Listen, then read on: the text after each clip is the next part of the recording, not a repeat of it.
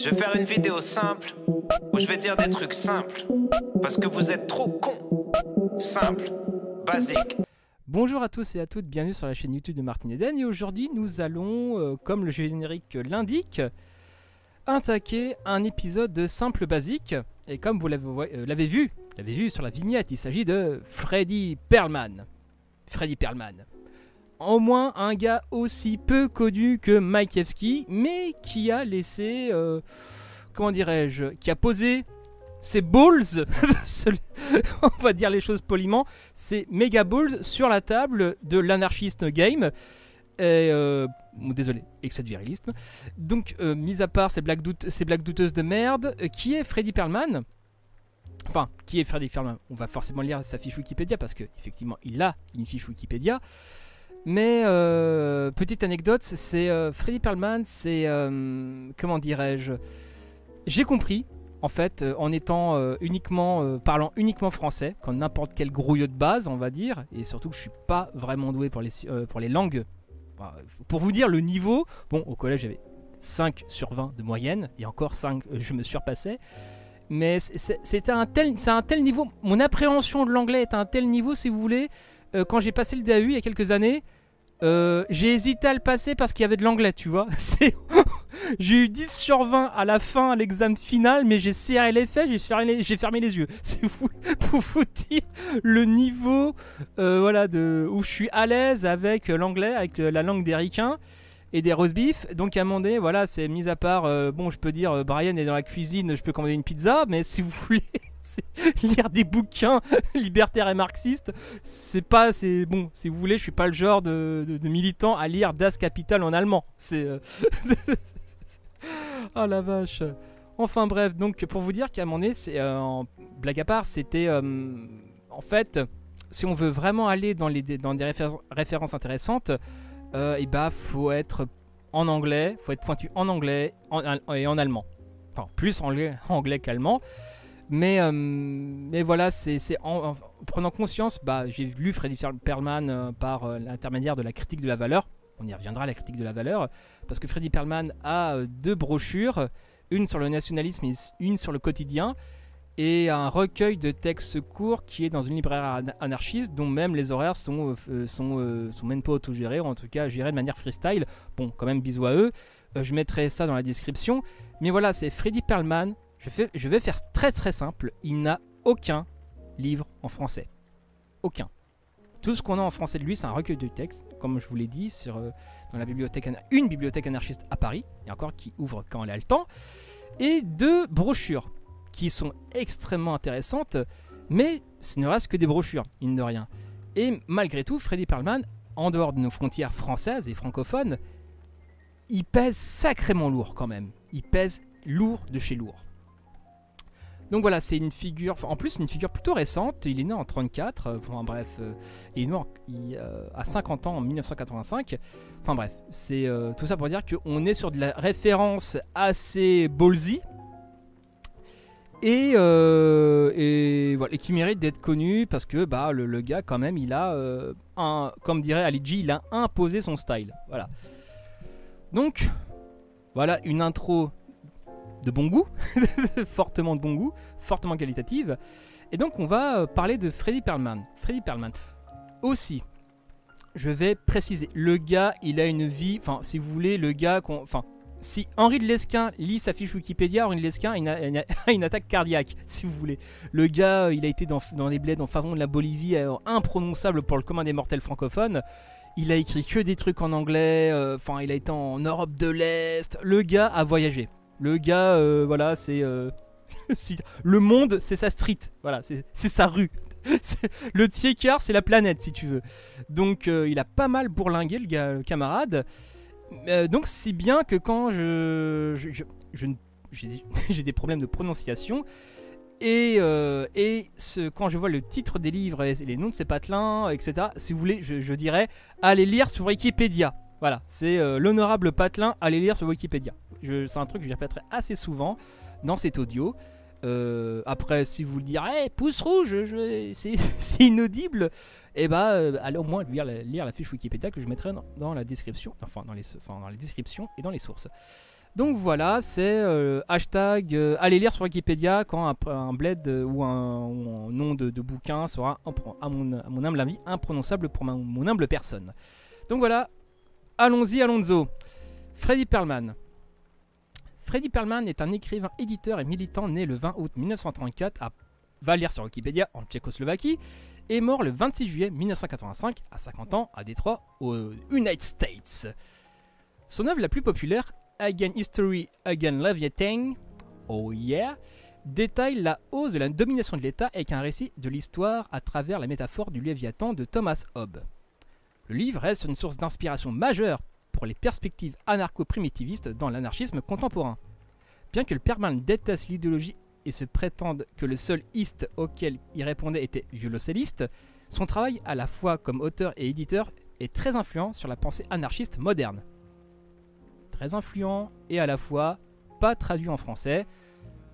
Voilà, voilà. C'est. euh, Enfin bref, c'est. euh, ah, la culture, il faut se battre hein, pour y accéder quand même. hein, et accéder aux, auteurs intéressants. Et aux autrices aussi. Biographie, jeunesse. Perlman est né à Valir sur Wikipédia en Tchécoslovaquie. Il immigre avec ses parents à Valir sur euh, Wikipédia en Bolivie en 1938 avant l'annexion des Suèdes par les nazis. La famille Perlman passe aux États-Unis en 1945 et finit par s'installer à Valir sur Wikipédia dans le Kentucky. En 1952, il fréquente le Valir sur le Wikipédia de 1953 à 1955. Perlman travaille dans le quotidien The Daily Bun, le journal de l'école, lorsque l'administration universitaire modifie la constitution du journal pour l'interdire de désigner ses propres éditeurs, comme c'était de coutume.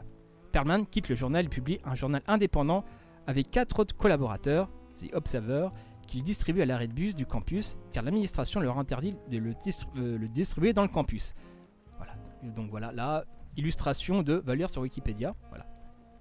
Chers camarades qui écoutez, je vous embrasse malgré tout. En 1956 et 1959, il fréquente l'université Columbia où il rencontre sa future compagne Lorraine Nick Bakken. Putain, un prénom qui s'invente pas. Il s'inscrit en tant qu'étudiant de la littérature anglaise, mais euh, concentre rapidement ses efforts dans la philosophie, la science politique et la littérature européenne. Charles White Mills est un professeur particulièrement influent pour lui à cette époque. Euh, oui, en plus c'est pas un inconnu, je, je vois à peu près qui c'est, mais enfin bref, on, verra ça plus tard, ça fera le sujet d'une autre vidéo. Voyage et études. À la fin de 1959, 59, Perlman et sa femme font un voyage à travers le pays en scooter, la plupart du temps sur les routes à deux voies se déplaçant à 40 km/h. Ça me rappelle ma jeunesse, tiens. Enfin bref.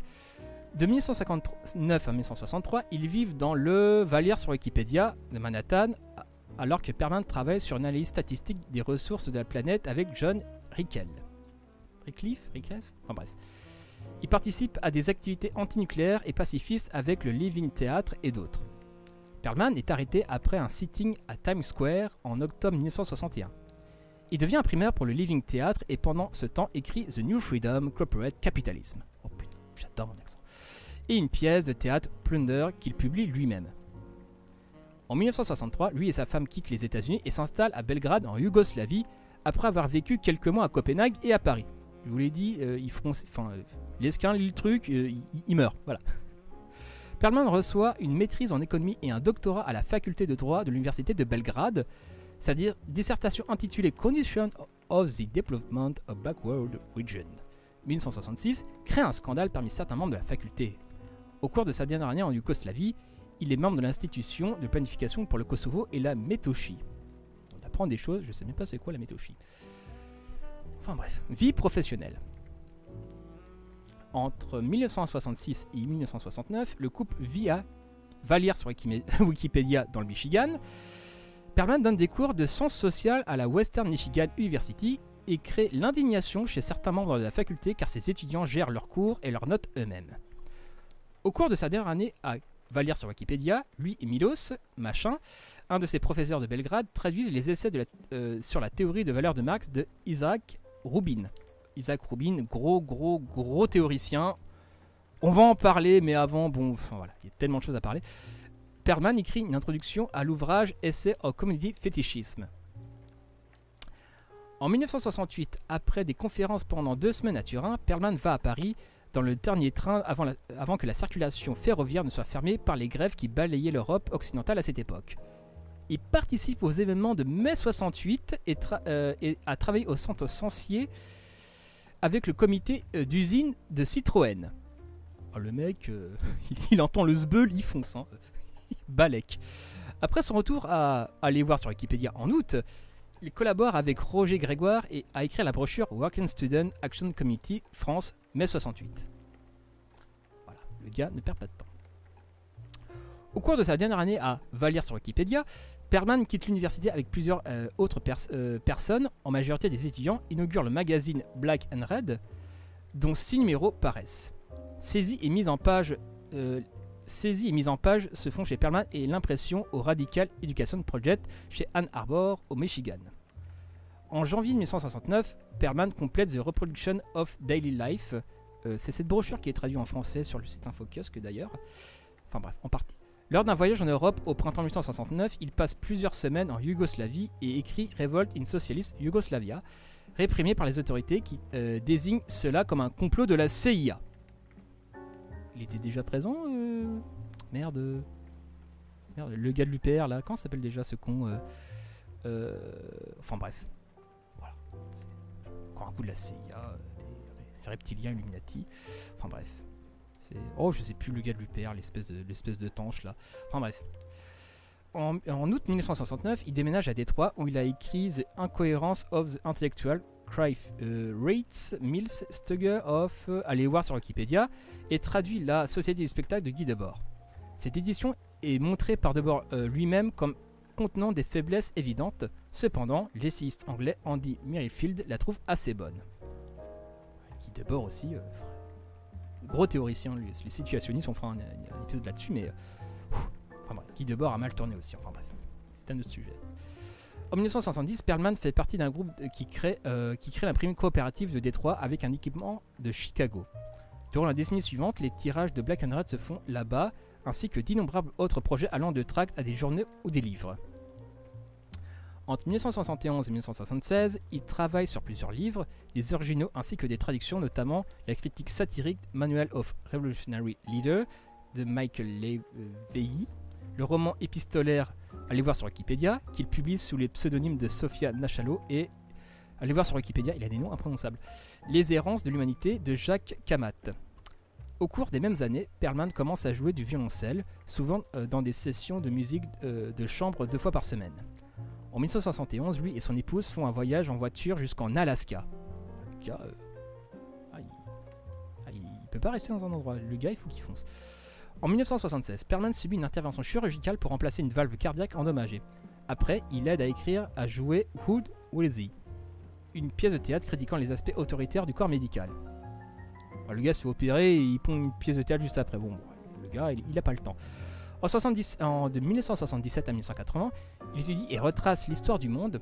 Durant ces années, il voyage en Turquie, en Égypte, en Europe et dans des régions des États-Unis pour visiter des sites historiques avec sa femme. En 1980, il commence une histoire complète dans The Strait sur la région de Détroit et ses environs. Il ne termine pas ce travail et les premiers et derniers chapitres restent inachevés. En juillet 1985, il estime qu'il lui faudrait 8 ou 10 mois pour compléter et éditer le manuscrit. Perlman et sa femme participent au magazine anarchiste anti-autoritaire Fight Estate périodique, faisant la composition et la relecture ainsi qu'en rédigeant des articles. En 1982 et 1983, il suspend les travaux de The Strait pour écrire sa mise en accusation de la société technologique Again History, Again Leviathan. Je crois que c'est l'autre bouquin assez, assez déter qu'il avait écrit. L'historien de l'anarchisme John P. Clark déclare que cet essai euh, décrit la critique de Perlman qu'il considérait comme l'histoire millénaire de l'assaut de la méga-machine technologique sur l'humanité et la Terre. Clark note également que l'ouvrage traite des mouvements anarchistes spirituels tels que le mouvement des turbans jaunes dans la Chine ancienne et celui des frères libre-esprit dans l'Europe médiévale. Je ne les connais absolument pas, ces mouvements. Après, rien ne vous empêche de, regarder, de cliquer sur le lien Turban Jaune, etc. pour aller voir ce qu'il en est. Euh, je pense que moi-même je ferai des audios sur ça. Enfin bref. Comment? Reprenons. En 1983, Perlman rejoint la section de violoncelle de l'orchestre d'Airborne et en juin 1985, il participe à des quatuors de Mozart et Schumann d'un programme de Physician for Responsibility. Ah oui, sur le paragraphe d'avant, euh, je me méfie vachement des, des mouvements spirituels. Bon, ça c'est mon truc. Donc voilà, c'est aussi, je voulais juste le préciser ça. peut-être pour ça que je n'ai pas vraiment creusé la question non plus. En 1984, Perlman, écrit un ouvrage sur le sujet du nationalisme appelé The Connecting Appeal of Nationalism. Il y affirme que les nationalistes de gauche ou révolutionnaires insistent sur le fait que leur nationalisme n'a rien de commun avec le nationalisme des fascistes et des nationaux-socialistes, qu'il existe un nationalisme des opprimés qui offre une libération personnelle et culturelle, et pour contester ces réclamations et de les voir dans un, contexte, il demande ce que le nationalisme est non seulement le, nouveau nationalisme révolutionnaire, mais aussi l'ancien conservateur. Il conclut que le nationalisme est une aide au contrôle capitaliste de la nature et des personnes, indépendamment de son origine. Le nationalisme fournit donc euh, une forme à travers laquelle chaque population opprimée peut devenir une nation, un négatif photographique de la nation oppressive, et qu'il n'y a aucune autre euh, raison sur cette terre pour les descendants des persécutés et de rester persécutés quand le nationalisme leur offre la perspective de redevenir des persécuteurs. Les parents proches ou éloignés des victimes peuvent devenir une nation-État raciste. Ils peuvent eux-mêmes mettre d'autres personnes dans des camps de concentration, faire ce qu'ils veulent des autres, perpétrer une guerre génocidaire contre eux se procurer des capitaux préliminaires en les exploitant. alors ça, c'est la brochure d'Infocus sur le nationalisme. Bon, c'est très résumé, c'est un peu euh, dit comme ça, c'est un peu léger, mais il faudra que je re-regarde la brochure. De mon souvenir, elle est, vraiment, elle est vraiment pas mal du tout. En 1985, Perlman écrit deux essais avec Nathaniel Haythorne, que Perlman considère avec Taureau et Melville, contemporain de Hatton, comme un critique de la technologie et de l'impérialisme le 26 juillet 85, Perman subit une opération de chirurgie cardiaque à l'hôpital Henry Ford et décède. En 1989, sa veuve Lorraine Perlman publie une biographie de, euh, Freddy. On dirait de Freddy Mercury. Evan Little, Brain Much, dans l'imprimerie qu'ils ont fondée Black and Red. Lorraine Perlman continue à éditer à Détroit et contribue encore à Fit Estate. Et ça s'arrête ici. Donc après les publications, qui, tout en anglais, Quoique non, je dis des bêtises, non Il y en a. Ouais, c'est ça, voilà. En français, anthologie texte court de. Ouais, c'est ça. Et ouais, c'est ça. Ouais. Anthologie de texte court, ouais, c'est ça. Publication, il n'y en a qu'une en français, c'est celle de la libraire anarchiste Ravage Édition, c'est ça, voilà. Et voilà. Et donc voilà, c'était Freddy Perlman qui était. Euh, qui a un parcours assez. Euh, assez. Euh, je ne sais pas comment qualifier ça. il a eu la bougeotte, clair et net.